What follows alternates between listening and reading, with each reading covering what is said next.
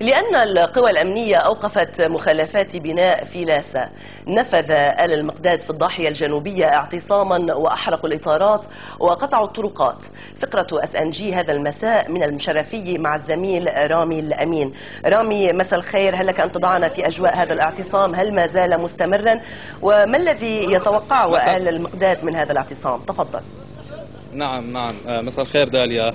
في الواقع يعني لا سعادت مجددا إلى الواجهة هذا هذا المساء. أبناء من من آل المقداد تجمعوا شبان هنا في المشرفيه واحرقوا إطارات.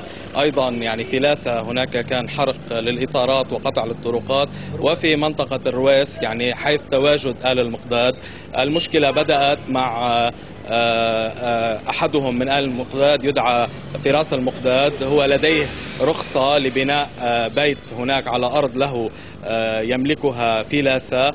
ولكن القوى الأمنية منعته من البناء رغم وجود رخصة لديه فتطور الموضوع يعني هو الآن موقوف في في أحد المخافر القريبة من لاسا ويعني هنا يعتصمون ويحرقون الإطارات حتى يخرج فراس المقداد من من المخفر ويعود إليهم. طبعا هم يشددون على أن من حقه أن يبني بيته في الأرض التي يملكها والتي يملك رخصة بالبناء. معي هنا شقيقه لفراس السيد حسن مقداد أستاذ حسن خبرني شو المشكلة تحديدا صارت بالقصة المشكلة خيي معه رخصة.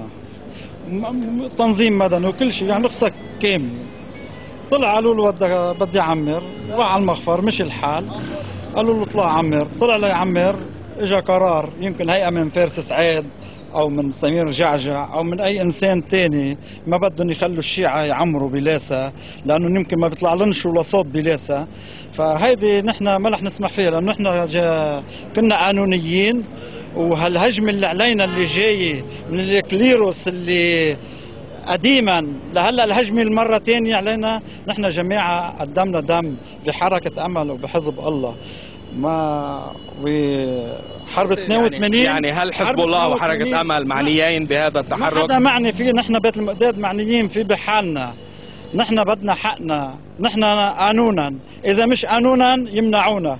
أنا بقول له لوزير الداخلية مروان شربل بما إنه أنت معمر بيتك تفضل يا أستاذ يا معالي الوزير فوت على الحبس مطرح مع خيي لهونيك لحتى تشوف حالك إنه أنت معك رخصة بتفوت على الحبس وخيي معه رخصة بفوت على الحبس. طيب. نحن بنتمنى بنتمنى هالهجمات هيدي اللي عم بيقوم فيها فارس سعيد وسمير جعجع ينهونا إياها وبلا تصعيد. نحن جماعة أنتم شو رح تعملوا؟ هلأ في في نية بالتصعيد يعني؟ في نية بالتصعيد لحتى يطلع خيي من الحبس وإذا خيي ما رح يطلع من الحبس نحن قلنا شأن ثاني شكرا واللي قاتل بسنة 82 عم تلت خلدي شكرا, شكرا.